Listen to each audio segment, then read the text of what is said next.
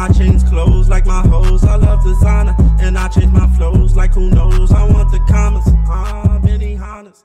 Shout out Levi Ackerman HD8WG because he left a comment on my Zoro vs. Yami video, which prompted me to make this video. But before we get into that, make sure you leave a like, comment, subscribe, and hit that notification bell because it's gonna be a doozy of a video. So buckle your bootstraps, guys. So in that video, I referenced the fact that Yami's Dark Cloak Dimension Slash was the final trump card or ace up his sleeve that would basically make him triumph in a battle over Zoro. And Levi Ackerman HD HWG commented, all annoyed, how does making a slash in a dimension help? And I'll explain that to you right now, guys. This is this is my point exactly. So, outside of battles where the swordsmanship and swordsplay is on par with one another, where Zoro has to battle swordsmen who are greater in skill or at least on level with him, the only way to quantify or scale Zoro's power is through with the materials that he can cut. Now, let me explain. For this explanation, I'll be referencing some of Zoro's most iconic battles and fights to better understand the point I mean about cutting materials is the best way to power scale Zoro, and it's probably one of the only ways to power scale Zoro. Let's flashback all the way to the Alabasta arc with Zoro versus Mr. One from Baroque Works. His Devil Fruit ability was the Supa Supa no Mi fruit, which is basically, I believe, the Steel Steel fruit.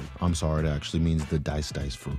This fruit gives him the ability to turn his whole body into steel blades, making him a very formidable opponent in battle. This battle proved very difficult for Zoro, and he was only able to defeat him after mustering the strength to cut through steel. Him being able to defeat Daz Bones means that Zoro was able to cut through steel. This is the first instance of Eiichiro Oda showing Zoro's power scaling. He is now strong enough to cut through steel. This is an important reference point because as we go on throughout the show, we understand that Zoro's only getting stronger as he's able to cut through stronger and stronger materials and stronger and stronger opponents. Now let's move forward. Another important battle that I must reference is the battle on in the Water 7 arc versus Kaku, one of CP9's agents. So Kaku was actually a skilled swordsman with with a devil fruit transformation. Now, I didn't really understand the point of him transforming into devil fruit because I feel like realistically, someone transforming into giraffe would actually mess up their mobility and make them a bigger and easier target. But I guess it powered him up. You know, in anime, sometimes things don't need to make sense. So his transformation did power him up and gave Zoro a little bit of a run for his money. But Kaku was actually on par with Zoro as far as swordsmanship for the most part. So the only thing separating them was the fact that Kaku could use the iron body technique, the Tekkai technique, which allows CP9 agents to harden their body. Tekkai is not to be confused with Busoshoku Haki, which is armament haki or the hardening of haki. This haki is based on willpower, while Tekkai is based on physical power. Also, I feel like when Tekkai users used Iron Body, they can't move as much. They're not as mobile. It's more like imagine flexing your muscles to avoid damage, like, but it's just ramped up and anime anime boosted to the point where they're literally taking no damage by just flexing their muscles. Ultimately, this was Zoro's next challenge. He needed to be able to cut through Tekkai, and this is another instance of showing he has the power and ability to do this. This is another instance where Eiichiro Oda is giving us scaling and showing how powerful Zoro actually is. Now, this brings us to the Dressrosa arc and one of Zoro's biggest battles, Zoro versus Pica. Pica's a weirdo, guys. I really didn't like him. His voice threw me off the whole show. I didn't really get the point, but it was just weird, honestly. But this fight was very important because Pica, the will of the Stone Stone fruit, or the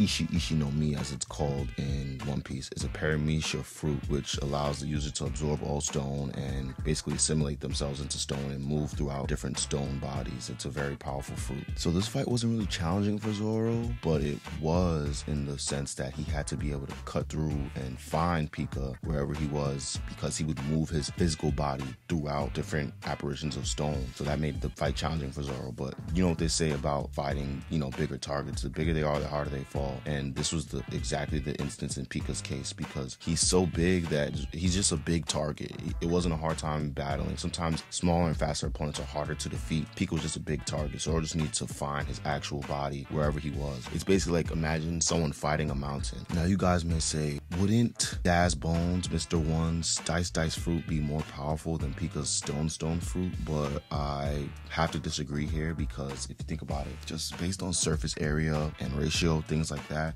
You can't compare cutting a mountain to cutting a slab of steel. Yes, steel is more refined, but a mountain is just bigger. So Zoro needs to be able to cut through some something as huge and big as a stone mountain, which is definitely a lot more difficult. And this required the use of haki. Is actually the first time that we see Zoro use his haki in the iteration of One Piece. And it's very cool. It's a very cool scene. I think he also does that nine worlds collide thing that I love so much. But don't quote me on that. I'm not sure. I don't necessarily remember. This battle truly showed Zoro's true power because Pica was the second in command in the Don Quixote family, which is Doflamingo's group of fighters, group of pirates, and Zoro wiped the floor with them. Like this wasn't really a hard battle for Zoro. It was just more like an annoying battle. Like Pica wasn't really powerful. They just their fighting styles didn't really match up well. You can tell when a fighter has a fighting style that gives Zoro a hard time because we're getting into that last with the next battle and the final battle that I'm gonna reference. But if you've made it this far, guys, please leave a like, comment, subscribe, and hit that notification bell. It super duper helps the channel, and I appreciate it so much. The final battle I'm gonna reference is, of course, Zoro versus King. King, formerly known as Albert of the Lunarian race. This battle, you know, it's the mo- battle that's most fresh in our minds because it just happened in the land of Wano arc. And I gotta say that this battle really put Zoro to his limits most of all. Like literally, he fought death just to survive and come back for the brink of death. Now, not only was King a master swordsman, he also had this unorthodox fighting style paired with the ability to fly and shoot fire that just gave Zoro a really hard time. As stated before, kings of the Lunarian race, granting him a, an immensely resilient body. Queen, his fellow all-star of the three all-stars, this is what Kaido calls his three generals. I know I got that wrong in my last video. Queen, his fellow all-star, has stated that King is a monster that can survive in any natural environment. He literally was even put through tests on Punk Hazard by Caesar Clown, where he literally, or maybe it was Dr. Vegapunk, I'm not too sure, depending on the timeline, whoever was owning Punk Hazard at the time. But he went through a lot of vigorous endurance experiments, quote unquote, and survived all of them. And this is in his youth. He can survive bullets, do him no harm. Even Zoro cutting him did no harm. The hardest take of the whole battle Zoro was trying to figure out how to damage his armor. King was even saying, You're not gonna figure it out how to cut me. You won't even leave a mark on me. That was the hardest thing. That was the hardest sell point for Zoro. He had to really dig deep in order to cut Queen. So we can see that in that instance, him being able to cut King, I'm sorry, is the strongest instance of power scaling for Zoro because that was his most difficult battle by far. So what's my point about all this? Let's bring it full circle.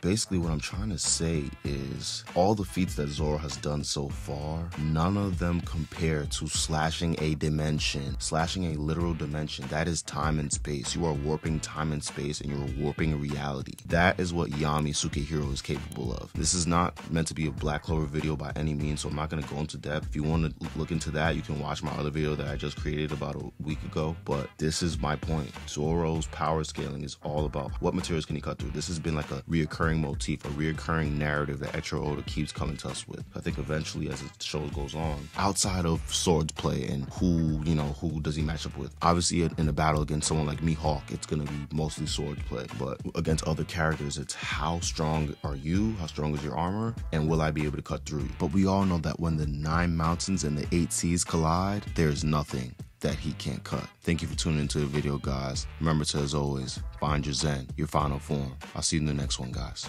And I change clothes like my hoes. I love designer. And I change my flows like who knows. I want the commas. Ah, many Hondas.